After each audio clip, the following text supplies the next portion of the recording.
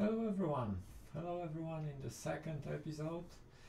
I hope you are there. Say hello. As, uh, as always, say hello from where you are. It is always so nice to see that I, we are from all around the world, we can say. So, a lot of interest in the GC at, at least, I hope so. The first episode was seen 8,000 times, so I was pretty surprised, but also super, super happy that it was so popular. Uh, so uh, say hello simply and let's just start because we have some topics to cover today. So uh, just uh, as a let's say introduction, I'm Konrad Kokosa and I'm uh, interested in .NET internals.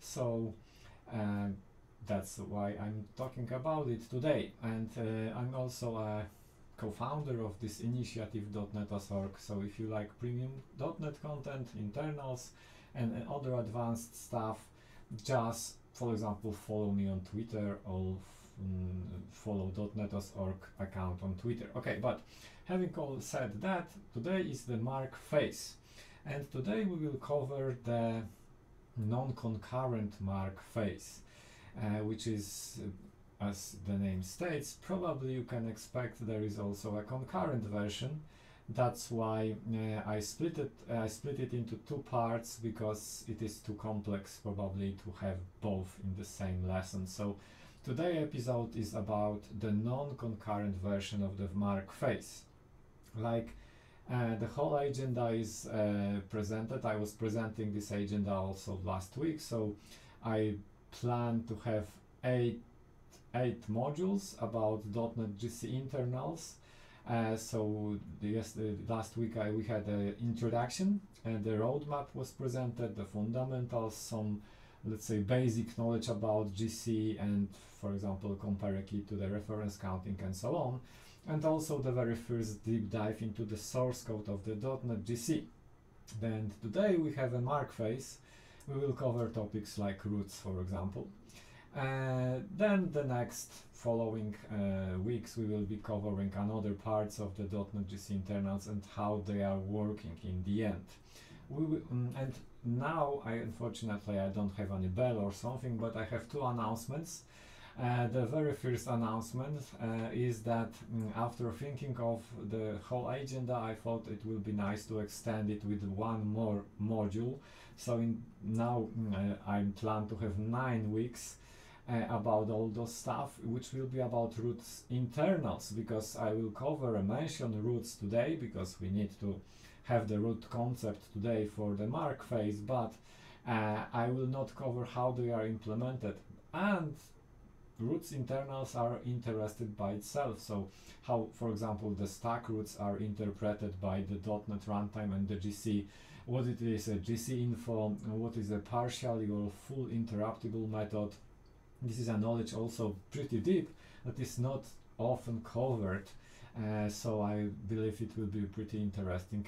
Nine module of this mini series, which becomes uh, middle series maybe because we have nine. And another announcement, the announcement number number two is that I also decided to extend the whole thing with the Q&A uh, module at the end uh, because I believe we will have some questions and we will I will gather some questions during all those weeks. Uh, so uh, there is no chance I will have a possibility to answer them all during the session uh, today or in other on another week. So I thought it would be nice to have this uh, last one Q&A module, which will be just for your questions. And um, for example, for example, uh, I was pretty surprised and happy that this uh, previous episode has ga gathered some interest, for example, on Hacker News. So there was a pretty long, um, pretty interesting discussions there on Hacker News because of this very first episode, and a lot of comments, a lot of interesting discussions and questions uh, while it is not always possible to answer in deep to some questions. For example, there was super interesting question, okay, but why can't I just manually delete an object in .NET in C Sharp? So this is a question uh, which is super nice. which requires covering some uh, implementation details of .NET GC and some concepts that I will introduce in the following weeks. So, and even today. So, I will answer this question at the end. And I hope we will gather such questions during the whole this um, episode. So that I believe will be nice. And also maybe we'll be able to invite Maoni Stephens to that uh, module. We will see. Uh, fingers crossed. So today's agenda, the mark phase. Uh, we will cover, I will cover the introduction, which will be just describing the object graph concept and object graph traversal.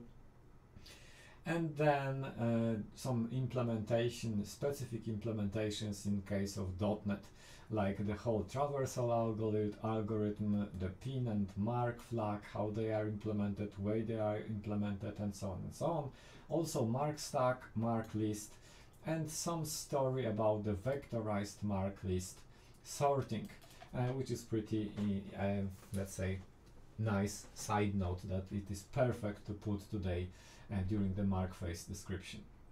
Obviously, we will uh, end with inside the code inside the .NET runtime code GC CPP just to give you some points from where you can start investigating on your own the thing that I will describe today and how the source code maps in directly to the concept uh, that I will cover today.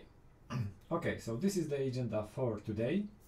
As always, do not hesitate uh, Sorry, I forgot about the mic. I hope you heard at least something. Uh, I hope uh, you will. Uh, I hope you will uh, have some questions. Uh, so just uh, ask any question you will have. I will try to answer them during the talk. And if I will not be able, because maybe I will not know the answer, or maybe it was the answer is too big, I will answer somewhere else, like on the following follow up blog post or maybe next time. So the mic is set, uh, the camera is set, the slides are there, so I believe we can start. I hope you heard something from the introduction without the mic.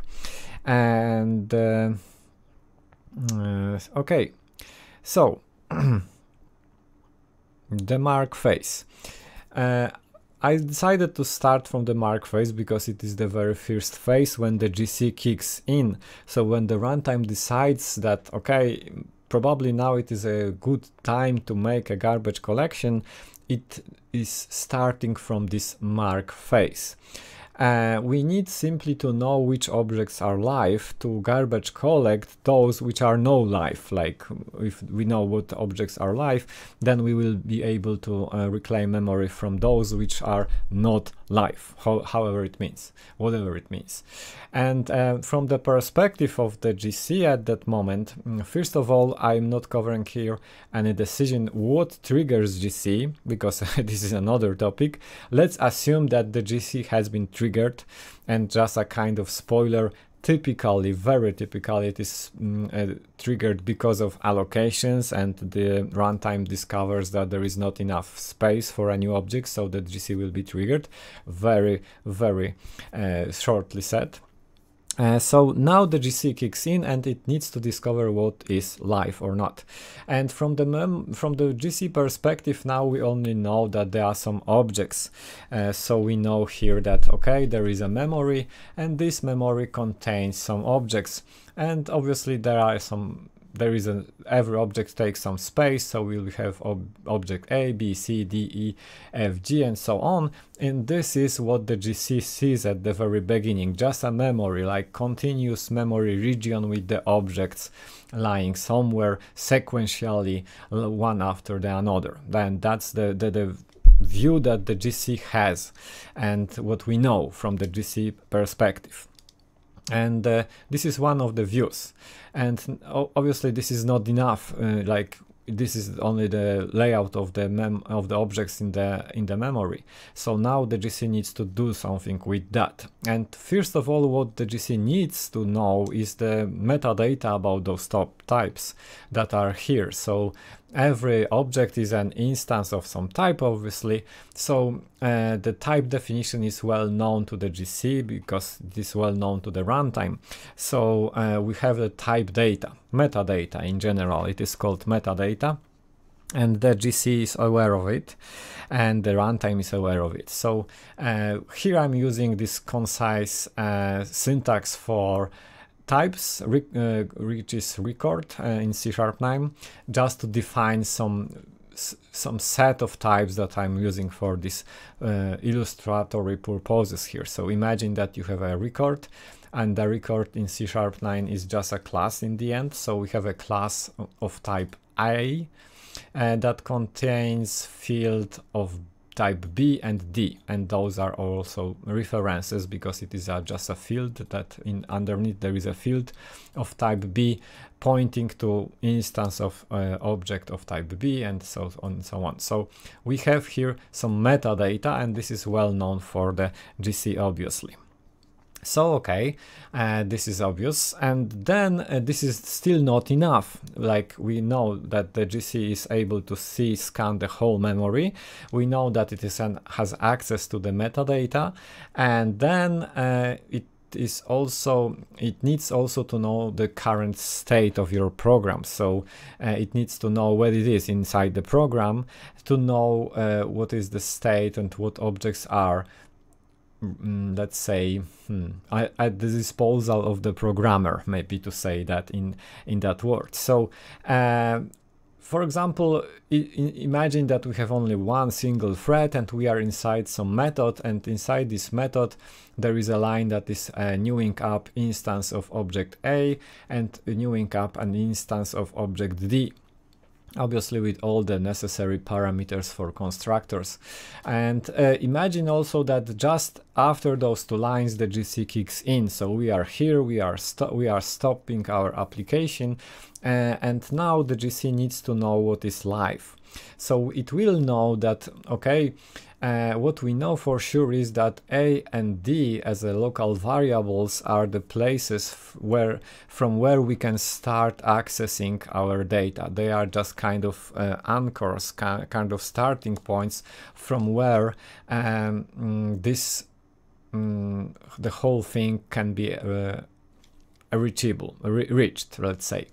And this we will return to this word many times in the next slides. So this is a like logical view, uh, maybe not the logical view, the physical view is that there is a memory. Uh, on the other hand, there is a metadata, there is a current state, and from that we can just uh, imagine drawing something that is called object graph. And uh, this graph, um, sorry, this object graph is something that we can imagine uh, logically. Obviously, because every because every uh, instance of every object contains some re outgoing references. Uh, so uh, there is a, from example from object of type A, uh, there is a reference of type B and D, so it can point to some object of type B and D. And every such a type having some outgoing references will point to some objects, so in the end we are building such an huge graph called object graph, references graph, between every instance of our um, object being in the memory. So uh, this is pretty straightforward, I hope so. So you have, uh, you can imagine that this is a logical view of what's inside your application, showing all the references between objects and an important part of it are those roots. So the place from which we can start to look at this object graph from the programmer or the code perspective. So here, for example, will be our a local variable, variable and here d local variable as another root. And from a, which is just a local variable, we can point to a object and then we can point to b and d and so on and so on. So this is the whole object graph. And this is a super uh, important thing for the whole tracing GCs concept um, that we will cover soon. Uh, okay, so we have those pieces here uh, that we need to, to use for the mark phase algorithm.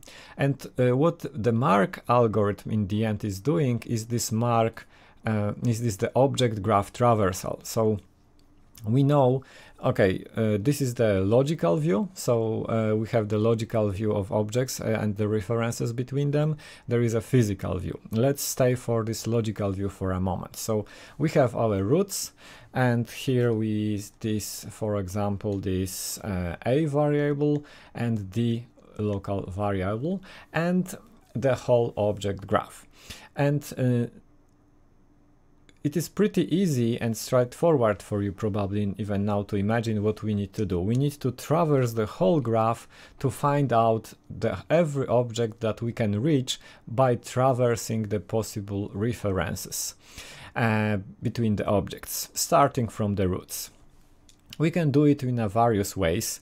Uh, for example, uh, we can use the recursion, uh, so we can write some recursive function that will start to traverse uh, objects uh, between each other um, uh, because of the references. So let's say I would write, I could write a method that will be called visit that takes a node and sorry for pseudocode, but it will be much faster without uh, worrying about types. So visiting a node would be something like do something with the node and then uh, for each mm, next node uh, in node get outgoing references uh, do some uh, visit now I could write such a super pseudocode way of mm, visiting the whole graph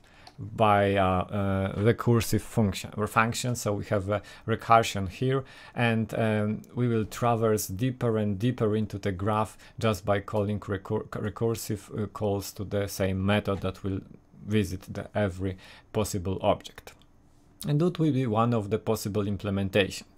Uh, nevertheless, we need somehow to store the list of objects that we would like to visit.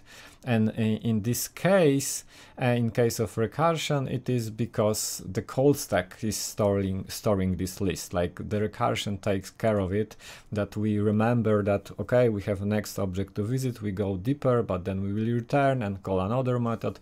So the call stack is somehow responsible for storing the whole uh, information, what we else need to visit and when we need to continue or we can just create a regular list and store this to visit list as a list or a stack or anything else you can imagine.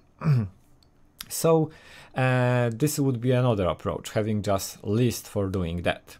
So this object graph traversal would be uh, that let's start from the roots uh, so we would uh, start from them and uh, just by investigating them we will see that okay there is an object A and D to visit because they are pointing to those two objects. So we scanned those two, two roots and we added to the to visit list object A and D and that's fine. We also, let's say, marked somehow the information that we have already scanned those roots and we need to not to return to them in any way. Then uh, we start to visit to visit list as long as it is not empty. So we take an object A from to visit list, we are visiting this object, we are marking somehow that this object has been visited, so I'm making this here in a different color, and this marking is important for two reasons. First of all, uh, it handles cycle references because by, when we mark that we have visited that particular object, when we through another set of less or more complex references we would return to this object, we will see that okay, but it has been already visited, so we don't need to follow this cycle reference. So by default and out of the box, by marking visited objects, we are handling cycle references. And moreover, this marking uh, may be an information that will be used by the GC because if we have marked something, if we have visited something, it means that there is a path from at least one root to this particular object, which means this object may be used because there is a path to it from a reach from a from a root. So it can be reached from at least one root and by root we mean for example local variable. But okay so we have visited object a and we just uh, we are removing it from the to visit list because it it has has been visited. And then we added also references to the D and B. We have just added the outgoing references from object A uh, and now we have uh, D and B also added to the to visit list. Then we go, for example, we take D because it is the next object on to visit list. We are visiting D and uh, then we add the A, uh, we add E as a next object to be added to, to visit because this is the outgoing reference from D.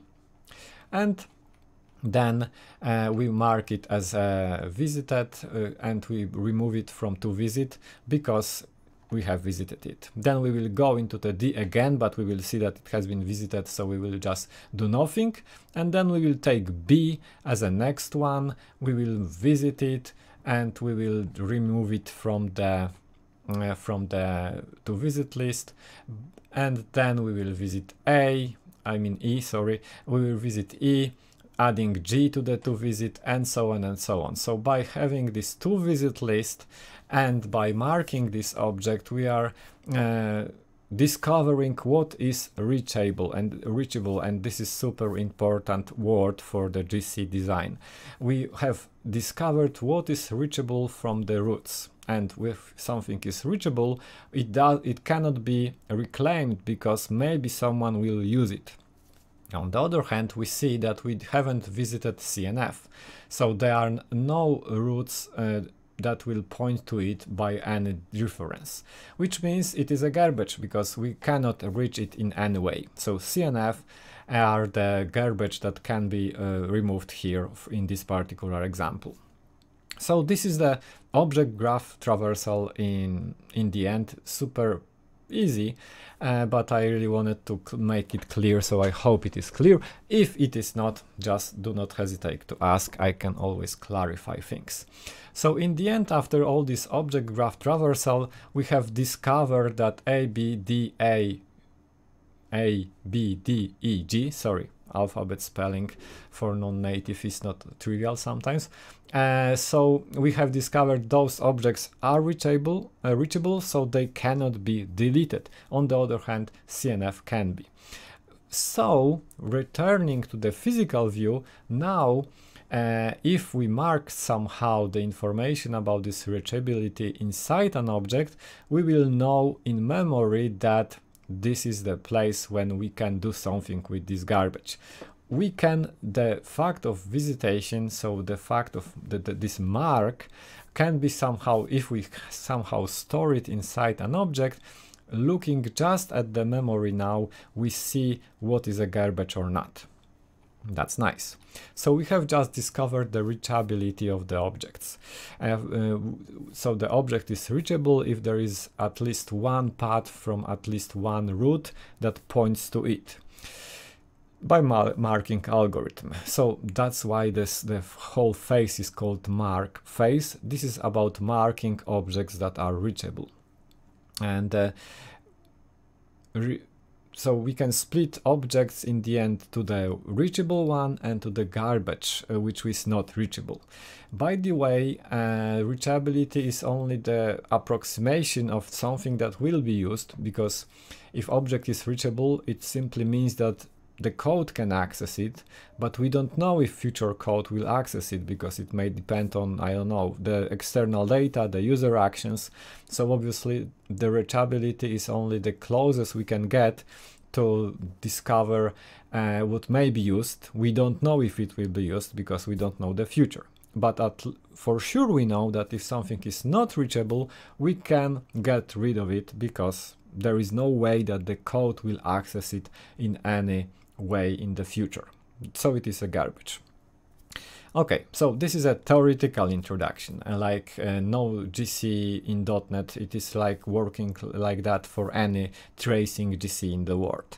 So nothing uh, GC .NET uh, specific, mm, but it is like common approach that probably in most weeks I will explain something theoretically and then move to the uh, .NET specific implementations. Okay, just take a Okay, so uh, first of all, the roots. Uh, I mentioned the local variable as one of the possible roots. Uh, there are many different possible roots uh, that can hold your object graph. So they are those starting points from which you can uh, discover reach an object so from where the GC will start this object graph traversal. The very first two are about local variables. So if you have a local variable in your method, it may be an address on the stack or maybe in a register. So the GC will start uh, object graph traversal from those two sources.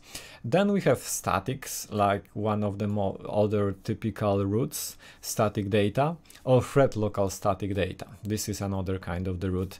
Maybe less common, at least we are not using it commonly, but it is sometimes used internally even if we are not aware of it. Then the finalization queue is one of the roots, and also, uh, and those are the, let's say, the four, five, the four, five most common ones and most obvious ones, uh, roots from which the GC starts its, the graph traversal. Then also there is something which is called intergenerational references, which is somehow how the GC tracks references between generations and we will return to that in the week which will be about generations. I don't want to make here any spoilers even. It is related to the mm, feature which is called cards or card tables, but it is not time now for explaining it, so let's just move on. And this is one of the one of the roots from which GC will start its uh, algorithm, but it doesn't matter for our uh, purposes here in explaining the mark algorithm. Okay, so we have this set of roots, and then how it looks like in case of .NET, moving to things a little bit more uh, let's say .NET mm, specific. So the implementations looks like that. For every root type, so for, for example for stack or for finalization queue or for statics, which are just mm, uh, which are just uh, treated as a special type of handle, but this will be covered in the roots internal week. Uh, from every for every root type, like for example for the stack, like I said, or finalization, we start this um, object graph traversal uh, by discovering those roots and adding them to the visit list. But this to visit list in case of .NET is called, and in case, in case of .NET GC implementation is called the mark stack. The mark stack mostly because it is used as a stack. Uh, so first in, mm, first out data structure. Uh, so I will not refer to to visit list, but I will say will be saying from now about the mark stack. So the mark stack is the data structure, kind of container where we mm, when we store all the objects that we would like to visit, we discovered that we need to visit them. And uh, for example, during the stack scanning, we will populate it uh, with uh, the roots discovered on the stack. Um, incrementally or not, it doesn't matter, but how somehow the mark stack is uh, has at least one reference to visit. And for each and that's that's the that's the true then the second uh, thing is that obviously for every object for the mark stack we are doing those uh, following steps and so we take an address from the mark stack because we can see uh, the mark stack as just a collection of addresses that we would like to visit. So we take a single address from it and we do the very first thing, which is setting the pinning flag. It may be a little bit surprising that the pinning is uh, um, suddenly uh, mentioned here because it sounds nothing related to the mark, but marking is a perfect and all the whole object graph traversal is the perfect place when we can uh, consider the pinning concept. So uh, just to um, explain in a few maybe words and to recall you, the pinning allows you to make an object not movable. Uh, so the imagine that you have, I don't know, um, class that contains two fields and uh, mm -hmm, and that you would like to and I will just set up my mic a little bit different. So you would like to have a method that is pinning this instance of this class. And you can make it in C sharp by using unsafe uh, mm, fixed statement. So you can um, make a method that for example we will take your point. And with the help of this fixed statement you can say okay I have I want to have a address of a field um, x of it, uh, which will be set in that manner. And this simply means uh, from now the object, um, the instance pt is being pinned for the time of this method. So uh, we are saying here about pinning by the stack, uh, uh, by this local stack variable or on in the register, it doesn't matter, by the local variable. And although we are taking an address of a particular field, in general we are pinning the whole point object instance here. And uh, so this is the pinning. And this means simply that with something like that happens, uh, the runtime will provide this information to the GC uh, during the mark phase. And will while scanning this particular method it will say okay I have here a local variable which is uh, pointing to an address and this is pinned address. So it is just saying uh, that okay this is a root but it is a pinned root and because of that, uh, now the pinning flag will be provided to the mark traversal, uh, to the object graph traversal algorithm. Uh, so I, that's why I'm saying that the runtime says so, because the runtimes the runtime is providing this information okay now you are starting to traverse an object graph from a root which is pinned F, if it is pinned, it sets the information about in the header of the object. I will cover that in a moment. Uh, so this will set the ping flag. then, if we have done that, we start the traversal. And if uh, so we start the whole thing that I've just described you. so we will uh, for example skip already visited object but because if we see that this object has been already visited it doesn't make sense to follow it again because it will introduce the cycle reference problem. So we are skipping already visited object then we are marking this object, and this is the important thing used later on by the GC. And this marking is happening in the method table of the um, method table add pointer in the object uh, itself. I will cover that in a moment also. And then we are adding the outgoing references to the mark stack. So the mark stack will be growing while we are traversing. So this is, I hope, pretty straightforward. Like uh, we, the, the one surprising thing might be here that we are setting this pinning flag.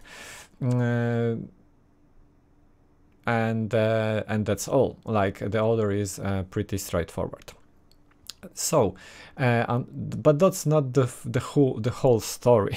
We can uh, we and we need to add two points here. This is the the let's say the the simple version of the of the true but there are two more points happening during this uh, traversal. First of all there is an additional optional uh, step um, which is which can be described as translate the address that you have, uh, that from which you would like to start the traversal to a proper managed object. which may be pretty surprising because we, from what I said so far, we could expect that the mark stack contains only uh, addresses of objects because we, we were interested in references between objects. But it is not always the true and we will return to that in a few slides. So this is an optional step that typically is not happening because we have already an object, uh, the address to an object, but sometimes we need to translate this address to an object address. And uh, the second thing is uh, that we need to to maintain a second uh, important data structure which is called the mark list. And this is something that I have added the the, the step after marking the object uh, so by setting this bit in the method table. Add uh, this address to so-called mark list. And mark list is a additional um, data structure that is a kind of optimization. It is not required by the mark algorithm by itself, but it is used to uh, make more efficient object scanning in the next phases of the GC. Uh, so I will cover it in a uh, only to I will mention it only here from the perspective of the mark algorithm and how it is used. I will cover that next week when I will be describing the the plan phase not sorry in the two weeks because next week is about the concurrent marking so i will cover and i will explain the mark list usage in the plan phase in two weeks from now okay so so, uh, but for now we can uh, just remember that the additional step is that we add the address of the visited object to the mark list.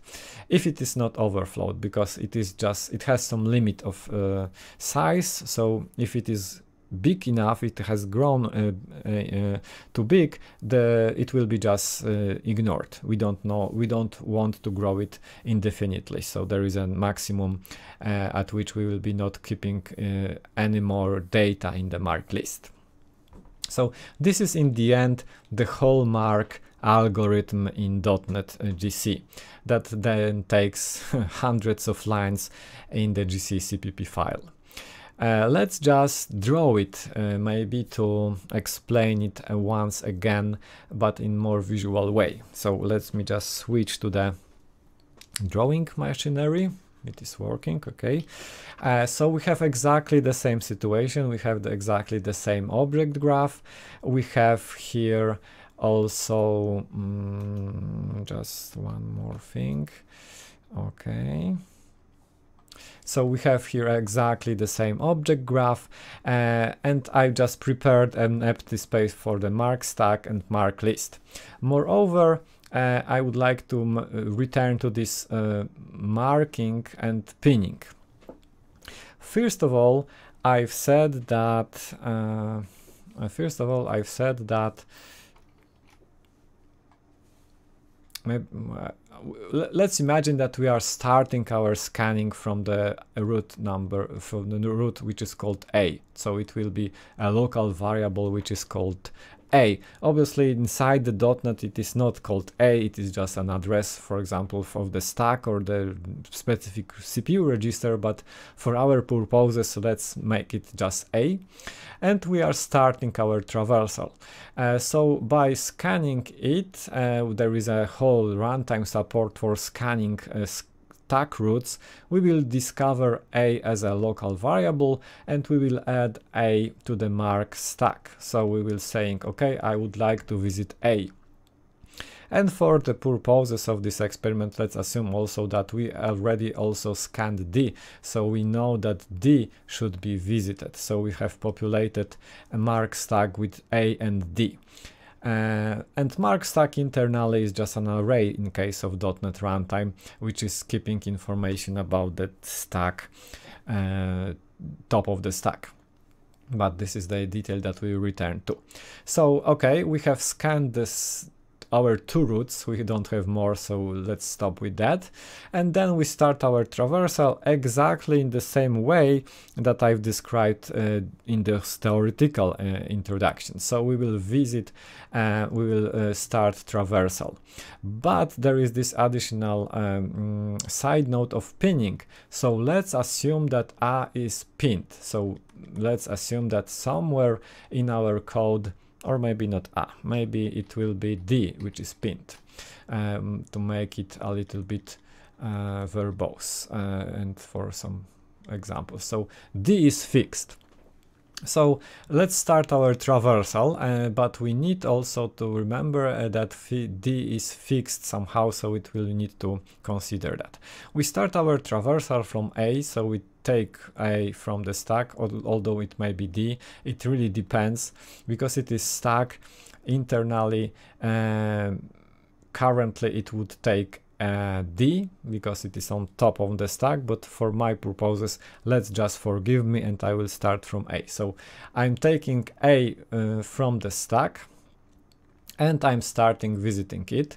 Uh, I'm checking uh, let's the, the, very first step was to set the pinning flag if the runtime says that I should pin it but a as a local variable is not a pinned so I will not have this information from the runtime so I'm not setting the pinning flag for a object mm, so I'm skipping this point. Uh, it is also a valid object address, so I'm also skipping this optional part of uh, translating it to a, a managed object address. The next step was to mark an object. To mark an object, I'm using the method table and here just a side note to explain how the object layout looks in memory in case of .NET. So if we have an object, um, it contains of three parts. Uh, first of all, there is a header and it is 8 bytes in case of 64 uh, bit machineries, 64-bit uh, runtime, so it is 8 bytes, uh, which is a header and typically they may be some only zeros because it is for various purposes, but by default it is empty, so they will be 8 byte uh, filled by zeros. Then we have method table pointer, which is another 8 bytes because it is pointer. So on the 64-bit machine, 64-bit runtime, sorry, it will be uh, 8 byte long. And this is a super important pointer which points to the whole metadata of the type. So there is another data structure which is just describing this type. This is just a kind of handler that is the entry points saying what in the end the type is of this object.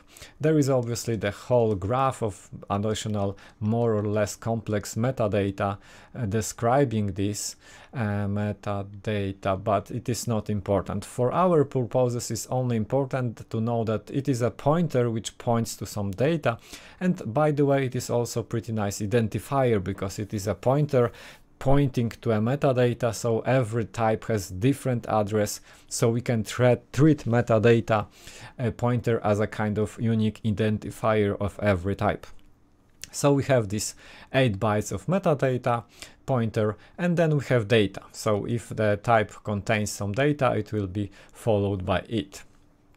Uh, if it has not, there will be at least 8 byte empty data, but we will return to that, it is not important here. Uh, for now, we need to remember header and meta table uh, pointer are always there. So what this marking is, how the marking is done in .NET GC, it is just setting the bit inside the method, method table pointer. Uh, which seems pretty strange because I said it is an address. So uh, we are just setting some single bit inside this address, uh, which sounds pretty dangerous like we are modifying the address to something because it is an address pointing to some valid address of metadata and then we are just setting some bits inside this address. But uh, it is 64-bit machine sorry 64-bit runtime so uh, the metadata also are aligned to the um, are so-called word aligned. So every address, in fact, that we have, including metadata, is word aligned, which means it is a, every address is a multiplication of 8 um, and there uh, which means uh, we can have only addresses like 0 8 16 24 and so on and so on only the multiplication of 8s are valid addresses from this perspective which means two less significant uh, um, the two, two, two, two, sorry, the two lowest bits of a method table method table address are always zeros because it is like if addresses are multiplication of eights it means that the real address is there but is here but the uh, two um, lowest bits are always zeros like it is a binary code so probably you you know that so that every multiplication of 8 will have those two bits as 0 so we have those two bits for our purposes and that's because of that it is safe to use one of these bits as a mark flag. So it will be this one or this one, it doesn't matter. As far as I remember, it is the first one. So mark flag will be here. And uh, was the lowest bit in the method table address. This is safe, like it, we are not uh, mm, mm, destroying the correct address. If we would know would like to know the correct address, the only thing we need to do is to uh, add it with uh, we need to zero the we need to zero the two mm, lowest bits and we will always get the correct method table address. So the marking is just by setting this method table bit inside the bit is a single bit inside the method table. That then it will be interpreted by the GC by, for its own purposes. Okay, that's the story of uh, marking. So we have added it. Uh, so we have set this part. I, I've made a, lit, a lot of drawings here. So let's maybe switch to a different color. Uh, the different color can be set here. Okay. So we have set uh, this particular bit inside this object because we have discovered A is reachable. And then we will add B and D to our mark D or and B to our mark stack and so on and so on. Uh, and we will be just setting this mark bit inside objects that are reachable. So for example, here we have object B and we will set be by because of this graph traversal, we will set this bit, this bit and so on and so on. In object C it will be not set because we will not visit it. So we will not mark uh, C as a reachable object. So this particular bit will be not set. And we will have only those one that have we have visited. Which is super uh, easy way of doing things like we have only single bit for marking an object. And uh, that's pretty uh, it. Like by traversing all those objects we will visit all them that can be visited. We will set those pointers uh, like we will set these bits in the method table and just to return to this fixed part. Uh, imagine that we have traversed everything that can be traversed and then from uh, we start from the root num from the root which is called d. And now uh, we start again traversing. We have added object d. We will now start to the traversal from the local variable from the root which is pinned. So this pinned flag will be reported. And because of that the runtime will set the pinned flag inside the object because we just are starting visited. And that's why we need to check it before checking if we have visited an object because it may happen that this object has been visited and like d has been visited. And then we just uh, starting to traverse from this particular local variable which is now fixed. And now uh, we will just uh, be seeing that okay we started to traverse object d from the pinned uh, reference and then we will set this pinned flag and only then we check okay but this object has been visited so we don't need to do anything more And when this uh, pinning uh, flag is uh, made, it is just a single bit inside a header. So now we are using uh, another part. Uh, uh, so in the header we have another place for another bit which will be for pinning. And we will set it for object D. So somewhere here we will have object D also. And we will set the pinning flag for it. And we will set a sorry the mark flag for it and we will set also a pinning flag for it. So in the end the information about the pinning and marking are just two single bits in every object that is lying in lying in our memory. And then it will be interpreted by the gc uh, in the plan phase, for example. Additionally, uh, because of this uh, pinning flag, it will know that in planning what to do with this object, it cannot be moved because it has this flag set to 1. So two bits controlling these two super important behaviors. And um, that's, I believe, uh, everything. If it is not clear, please do not hesitate to ask as always.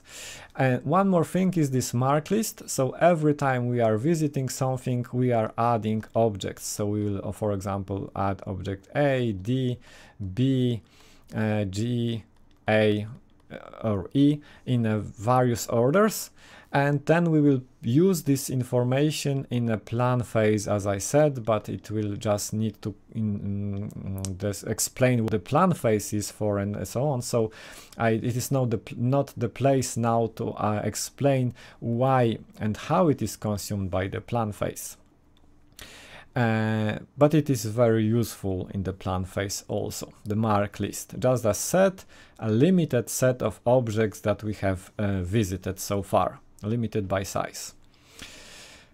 Okay, so uh, what is what we can um, make as a kind of findings from this whole story? So first of all, uh, the mark and pinned flags are added only during the GC. So as we as as well as as well as I was showing, sorry, uh, from before the GC happens, in between the GCs, uh, simply there is a memory inside the managed heap, the objects are there, but we don't know which are mm, marked, we don't know which are pinned, because this information is only discovered during the mark phase. Moreover, it is cleared afterwards in the plan phase, in the next phase. So at the time of mark phase, we are discovering what is marked, we are discovering what is pinned, we are using this information somehow in the plan phase, the next one, but then we are creating this information to have the clear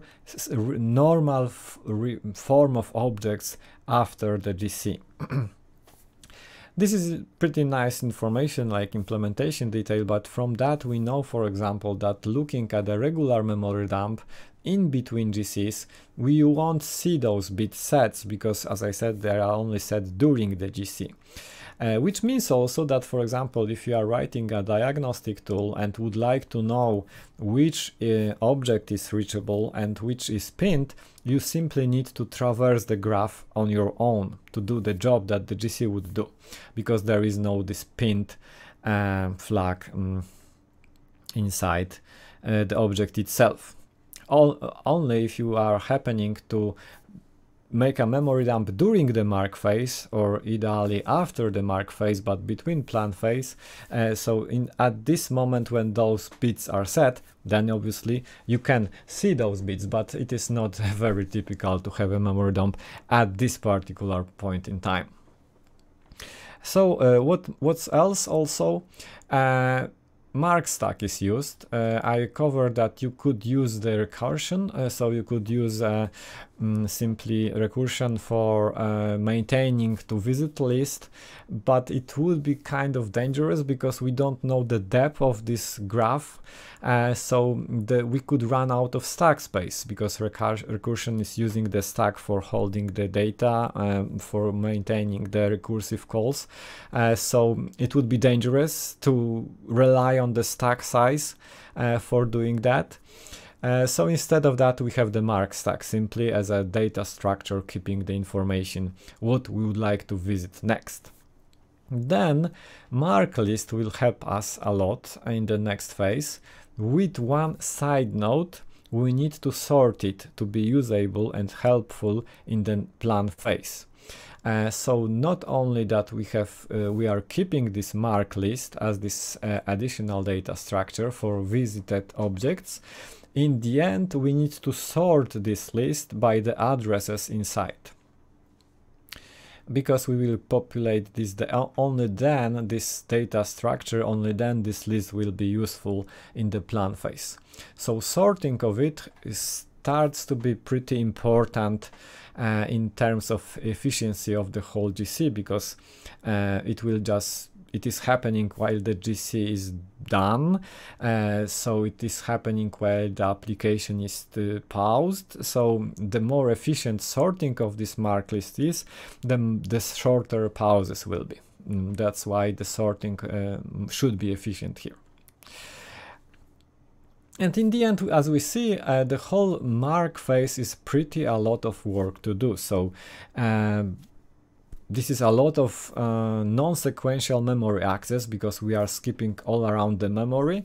We need to touch a lot of objects and we need to really not only read this memory to read for example, the outgoing references, but we need also to uh, mark those uh, objects. So we are invalidating a lot of mm, uh, places in the memory, which is also always a not so good thing because it can introduce a lot of uh, cache trashes and other stuff and it simply needs to have a memory access which is not sequential, which is not optimized. So a lot of memory accesses during the mark phase. That's one of the reasons why it is worth to make a GC generational. So we split the whole managed heap inside into the some regions and we don't consider the whole object graph at once, but we can split it into a several subspaces called generations. Uh, so we will not have to travel to traverse the whole object graph. One of the reasons why the generations are beneficial. But still it will be a lot of work like visiting millions of objects for example. Setting all those bits. Okay mm, then uh, so this is the mark phase i hope you know at least a little bit uh, how it works now. And going further this mark list sorting story. So uh, it is pretty interesting because of two reasons. First of all uh, this uh, sorting has been optimized in .NET 5 very recently. So while reading announcements about .NET um, improvements, one, for example, in this famous um, um, article .NET 5 performance improvements by Stephen Toub, there is also a mention of this faster sorting of the list used by the GC and it has been improved indeed. And uh, why did that happen is uh, another uh, reason why it is interesting because it happens on the Dotnetos conference that I'm, as I said, we are Dotnetos, so we organize things for uh, for you. And there was a conference in 2019 which was about, as we always like, about advanced stuff in .NET. And there were two uh, speakers then there there was a Dan Shechter that has a talk about .NET Intrinsics in CLR talking about parallelization of work help mm, possible due to hardware uh, high performant instructions available inside CPUs uh, and he was describing his mm, journey through improving uh, array sort making it few times faster and I really invite you to watch it because it is a really awesome uh, presentation. How you can write a much faster code uh, with the help of .NET Intrinsics a very hard word. And there was also a Peter Sollich, uh, Sollich uh, from .NET team .NET runtime team which was describing .NET garbage collector in general. But uh, it was watching also, and it was very nice that speakers were watching their own uh, the the mm, mm presentations. Uh, Peter uh, was watching this presentation and she said, he said, Dan, but we could use your algorithm and your findings to make mark sorting uh, faster. Uh, because we are using sorting in the GC and it would be really nice to make it faster and your work making it faster a few times would be really beneficial. And it was the very first idea that has been coined during the conference talk uh, on the um, during the breaks let's say uh, which has been coined into a PR that come uh, half a year later into the .NET runtime. And finally it has been added to the .NET 5 uh, as I said. So we have this pull request, uh, which is um, just one of the biggest pull requests outside of the .NET runtime team, making a pretty important change into the GC uh, source code from Dan. Uh, the code that is just making faster sorting of this mark list with the help of the CPU uh, instructions uh, for making parallel work. So with the help of it, uh, the faster sorting is now inside .NET Runtime uh, from the .NET 5, which also allows to make bigger lists uh, and the bigger list uh, is always beneficial. The mark list the bigger mark list the more data we can use uh, so it will be more helpful in the plan phase. If they are bigger still being faster so we have shorter GC pauses thanks to that code, which is also uh, while maintaining bigger list. Super, super nice story that is about how we can cooperate with each other to make things better in general, uh, thanks to the community uh, support and so on and so on. So this is a pretty nice story. I mm, invite you to follow this PR because it clearly shows um, how the improvement looks like, how it pl plugged into the previous code and so on. So it is pretty, pretty nice. So uh, this is the mark sorting story. Two side notes also. I mentioned that uh, there is this optional step, which means translate it to the proper address of a managed object. And this is because uh, sometimes we have something which is called interior pointers. Typically references just are pointing to the beginning of another, another object. So a typical reference, a regular reference is just pointing to the uh, method table pointer of another, another object. But uh, we can have pointers which are not behaving like that. And if you were using refs in C Sharp, this is exactly the case. So typically when you have a reference, uh, I, as I said, this reference means that, for example, if object A has a reference to D, this reference is pointing to the method table pointer. So at the, let's say, beginning of an object. So every regular reference is pointing to a beginning of an object. But we can have references which will be called interior pointers that are pointing inside uh, an object, not at the beginning, but inside. And if you take a ref to a field of an object like here, uh, so we have G, which has a field Z, and this is, uh, uh we are taking it as a reference, it is simply now an interior pointer. So this E as a uh, local reference and a local root is an address which will point here, which means it is not pointing at the beginning of the object. So we need to translate it to a proper address of a managed object.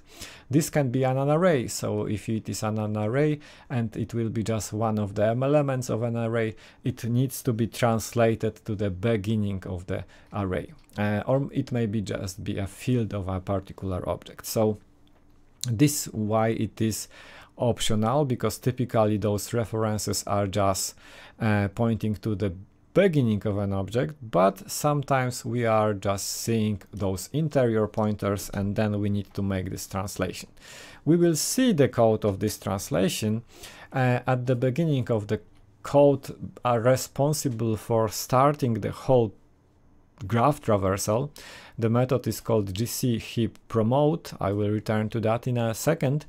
And then we see this code that is saying, okay, but if the runtime says that this particular root uh, this particular, um, yeah, let's say, root is an interior pointer, and it is saying that with the help of this flag, and the runtime obviously knows from the JIT or from the other stuff that this is an interior pointer then uh, this translation happens in the find object. Uh, it is just saying, okay, I'm having an address, but it is not an beginning of an object, so I'm converting it and finding an object that contains this address and translating it to this particular address. And this is super interesting uh, how it is done.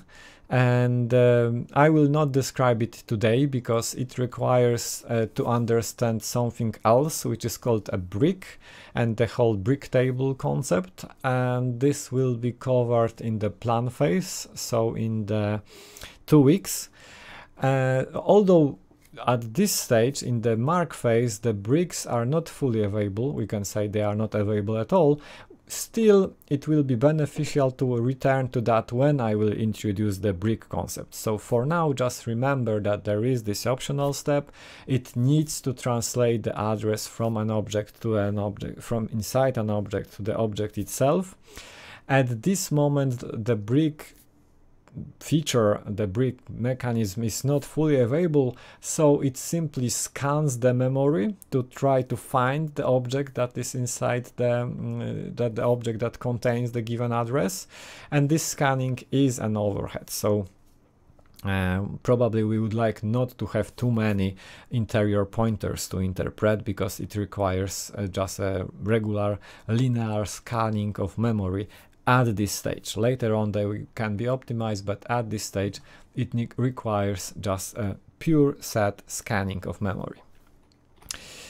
And the second side note uh, uh, regarding the graph uh, or the object graph very simple one. When we because i said about the object graph in general as a concept and uh, various tools are saying uh, about it in a various ways showing various measurements and showing you the graph uh, object graph in various ways. So three important concepts regarding the object graph itself theoretically one theoretical one let's say uh, if you have an object graph like here presented uh, we can um, introduce three three important from the diagnostic perspective three important things Obviously, one of the most interesting uh, and typically shown by tools thing is the shortest root path.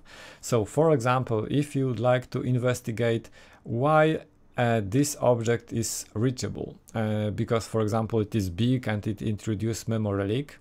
Most of the tools will show you the shortest root path and it will be in this case the path roof root and a and h. And this is all. Like this is the shortest root path through these uh, particular uh, references. And this is pretty interesting, obviously, it is the shortest root path, so logically it may be important because it is the shortest. But always look at the other paths that keeps this object reachable, because maybe this is only kind of cache, and the true logic uh, and the business logic keeping this object alive is through this reference, or maybe through this reference. So there may be a various uh, paths to, a, to, an, uh, to an object.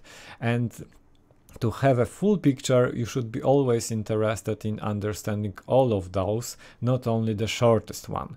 While unfortunately a lot of tools is showing you typically only the shortest one or just forcing you to show to see the shortest one and you need to click something to to see the uh, other ones. Other thing is the mm, two concept uh, the dependency subgraph and the retained subgraph. This is again uh, about uh, understanding what is being alive and why, and what is this, um, let's say, how is the big impact of it uh, in terms of memory usage. So imagine you have object B and you are interested in the subgraph which is created by this object. And dependency subgraph, uh, which is another pretty commonly shown uh, measurement in various tools. It is just a sum of every object that you can reach from it. So in this case, it will be a sum of sizes from object D, A, F, G, and 8 so from every every of these object will be counted in this total size because you can reach every of this object from the B which is okay which is pretty easy to measure because and calculate. So various tools are preferring it because it is just uh, you can traverse the whole subgraph and add sizes. But Unfortunately, not so many tools is showing you the retained subgraph, the one that is just the subgraph that will go on all together with the object itself. So if at some point in time B will be no longer needed, the retained subgraph will be the part of the dependency subgraph that will be no longer needed also just because the B has gone.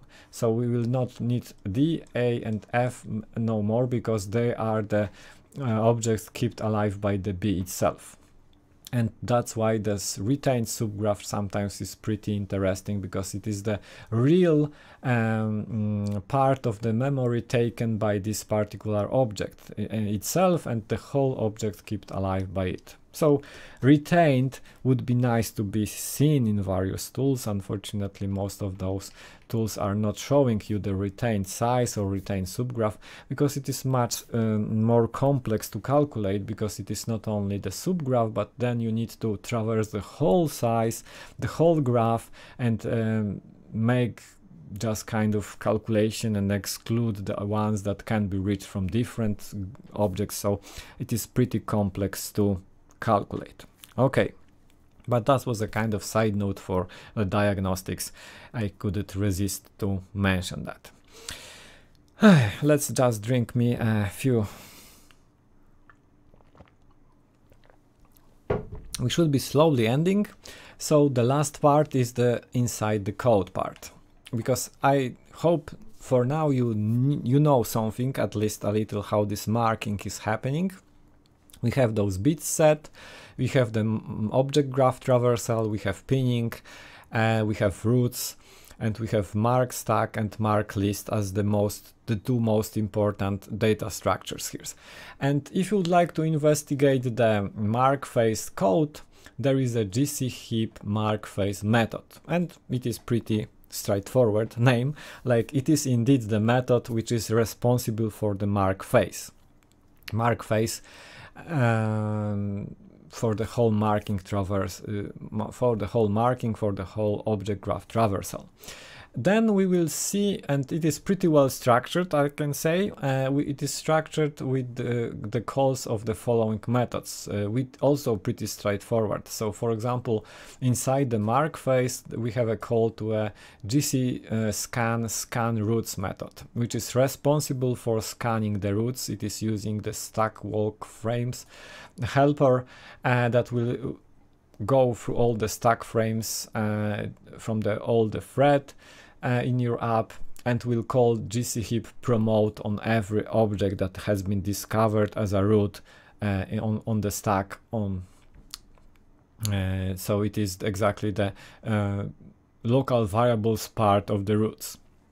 Then for example we have finalized gc scan roots then we have gc scan scan handles which is for uh, scanning all the handles and uh, again every time here the same callback is called. So we have various sources but in the end the underlying machinery is calling gcheap promote for every object that has been discovered as a root. Then gcheap promote callback is just, just the one starting the whole object graph traversal from this particular root. Uh, handles is an important very important topic because uh, for example, uh, statics are kept alive by handles. They can be also pinned handles. So um, the various uh, handles we can uh, uh, meet here, and uh, some of them will be reported as pinned. Some of them will be just reported as regular ones. But again, this is just through scanning through all the handles. Then we will have a scanning through the cards uh, machinery that I mentioned, so the intergenerational references, and uh, I will cover that later on by, when describing the generations. Uh, so it is another set of uh, references uh, roots that we can map, and then pretty a lot of code. I would let's say I would say half of the mark phase method is related to the dependent handles. You have uh, something like weak references in .NET dependent handles and that needs to be interpreted because at this stage we know what is reachable. So we know what will be garbage collected for example. We know um, uh, what are the dependencies between the objects. So now it is a good time for some bookkeeping regarding the dependent handles thing but maybe this is not so super important uh, from the perspective of the whole algorithm. And then uh, we have the gc heap promote method. So if you are interested in digging in into the source code, uh, beside uh, the mark phase method, which is the high level method, you can look at the gc heap promote method. That is calling a lot of macros and those macros uh, are called go through object CL, for example, which triggers this traversal in the end calling a mark object simple method. And uh, this mark object simple will use mark stack array, the one which is just implementing the mark list, uh, sorry, mark stack. Uh, this is an array keeping information about the bottom and the top of the stack. So you will see it as a, just a regular array of addresses, for example. And this is maintained and this is the heart of the mark algorithm, like the mark object simple uh, method. And then, for example, gcmark, uh, uh, gcmark, which is the pretty short method setting this mark bit inside the method table. Uh, let's just make a short search inside the source code to show you the gcmark mm, where I have the Visual Studio GC mark. mm -hmm. uh, oh so as you see GC mark is pretty simple um, it is just setting the bit inside the method table and that's all. So this is one of the simplest methods inside the GC source code and just the responsible for marking. You will see pretty mystic naming sometimes. So for example, there will be GC mark 1 and GC mark. Typically it means one is a uh, kind of wrapper around the second one and one is called uh, or sometimes another depending on various uh, scenarios um, you need to get used to this naming simply. And here we will see, for example, that uh, okay, this GC mark is just um, doing exactly what we could expect. And we see that GC marked, uh, this marked is just setting uh, the thing that I've described. So it is setting the marked bit inside the method table. The mark is the one. Okay, so it is the second bit, not the first one as I wrote. Uh, so the GC mark is the, the, the second lowest bit inside the method table address. This is how it is working. So this is a pretty uh, very low level stuff at the low, uh, uh, like the bit level of the of the object itself, but uh, pretty straightforward. Nothing super surprising is happening here uh, at this level. And uh, okay, so we have it here. And additionally, um, I said that the mark list is maintained. So we have this mark list as a second data structure inside GCCPP. And um, this one is maintained by the mBoundary macro, uh, which is also called inside this mark traversal object. So every time you mark an object, you are also calling the mBoundary method with a really, um, with a really, I don't know how it was named like that. Uh, I would really love to ask Maoni why the um, mBoundary name has been chosen for this purpose. And mBoundary is very simple mark uh, list maintenance. So as you see, mBoundary of a given address is just um, putting this address inside a mark list and increasing the index. And this is just an operation on addresses inside the mark list. So it is pretty simple. Uh, um, only adding collection that will add the object uh, addresses to the mark list itself. So you will see also the, the calls to this m boundary from time to time, uh, which will populate the mark list. And uh, that's almost all. Also, if you are interested in the sorting part, uh, mark list, first of all, is maintained and sorted only for non-concurrent ephemeral GCs. So um, that's the reason why it is beneficial and I will cover that later on but in this particular case you have a GC that is for generation 0 or 1 and it is non-concurrent then we use mark list.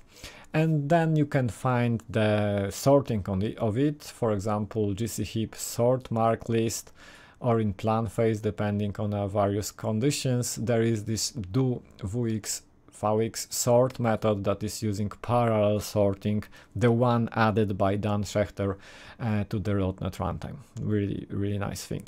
And we can even see this that, okay, if this has been compiled with the support of it, and if the instruction, the given instruction set is supported, we are making uh, our mark list bigger, five time bigger, for example. So we will be able to keep five more five times more addresses of objects visited in the mark list if this instruction set is supported. Uh, because it is so fast that we can even make it bigger and it will be still faster. Uh, so it is nice. Uh, so obviously this, those slides will be provided so you can follow all those uh, deep internal stuff also if you would like to look around in the GC CPP file. Uh, let just me show you this particular macro which is pretty uh, pretty important and we'll try and and th this is mm -hmm. yes and this macro looks like that so we will see uh, CP GC CPP file is pretty macro based so there are some important parts of it which are defined as macros which looks like that and this is the one which is responsible for uh, going through this particular object. And then we will see uh, calls to it uh, from macro to macro, another macro, and go through object here is just re mm, reading the metadata of the particular objects to get the information where we have an ongoing references from this object under the given address. So uh, yeah, that's that's pretty uh, all of it. I hope it covered some uh, things that you would love to know about Mark Phase. So uh, probably it is good time to slowly uh, close uh, the topic. Uh, I see the very first question, so I'll answer, I will answer soon. If you have any more questions, do not hesitate to ask. It is now good time for asking. Uh, if nothing, if something was not clear, please ask because I would really love to see it as a clear uh, explanation of the internals. So if something was not clear, it will be kind of failure from my side. So please do not hesitate to ask. Okay, so uh, we have a question, and uh, the question is uh, that I said that the mm, GC scan handles uh, is keeping statics alive. And um, yeah, and you, Ultern, you thought that statics are not part of the objects and are allocated on stack. So where do statics live? So uh, so in general, the question is why GC hand, why handles of type uh, of this particular uh, let's say why handles are keeping statics alive maybe just to rephrase the question. And this is valid question. It is kind of question that will be answered in the part that I will cover regarding GC regarding roots internals. But as a kind of spoiler I can draw it in a very a very few mm, seconds like uh, if you have a static the static is just a regular object. So if you have a managed heap and it is just a managed heap of your application and you are having a static inside a type and it is a reference type you are having this as a regular object. So it has a header a method table data. This is a static instance. Let's call it s uh, what is uh, but it is static so it needs to be interpreted somehow. So the difference is that um, the information about it is kept by a handle uh, which is just an, an, array sorry which is just another array uh, kept somewhere. And this is a array of object references which is uh, keeping information about all the statics defined in your app domain.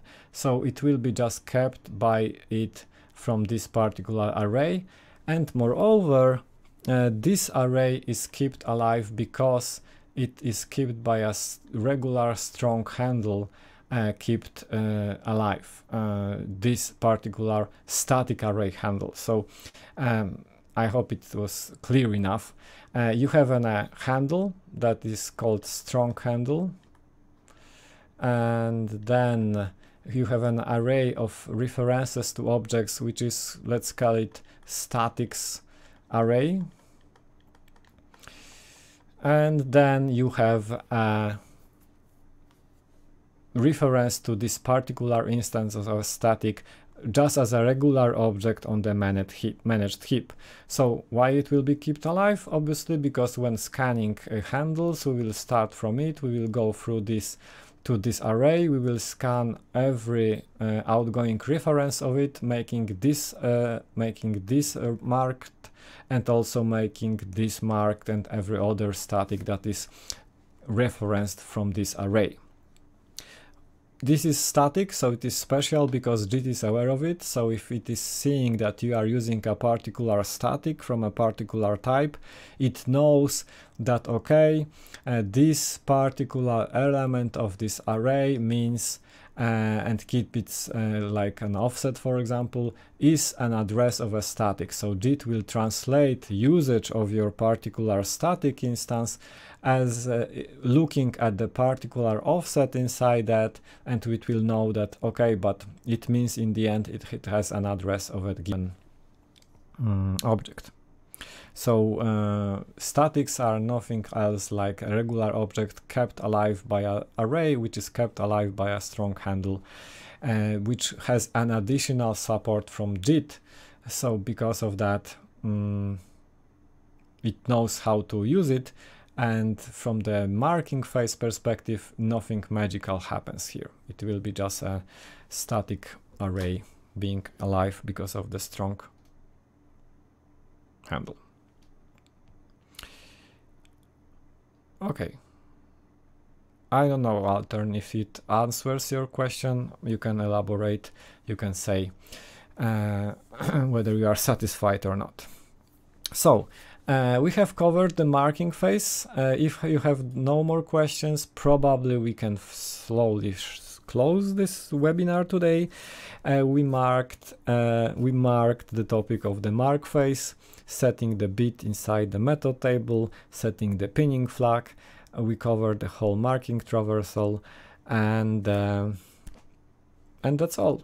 If you don't have any more questions, let's see next week next week will be about the concurrent mark so uh, the today i describe you the mark phase which is non-concurrent which is just happening while the whole application is paused, which is pretty nice because it means nothing is happening while we are marking, we are, while we are traversing the mark, when we are traversing the object graph.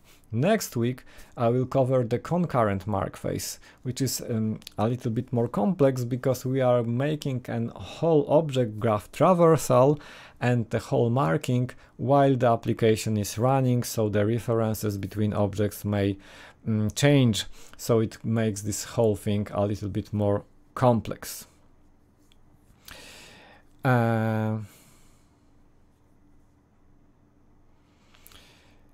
Uh, okay, and the second question, just as the end, uh, by the end of the of the webinar. Uh,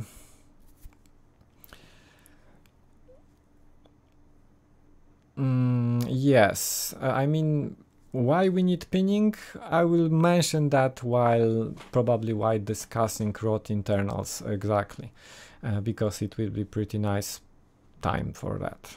Probably not today. Okay, so, once again, thank you. See you next week with the concurrent mark phase. I hope you will enjoy that. If that, spread the knowledge about it on Twitter or anything else, and anywhere else, just to make uh, a, how it is said, a noise about it. So, thank you very much and see you next week. Bye.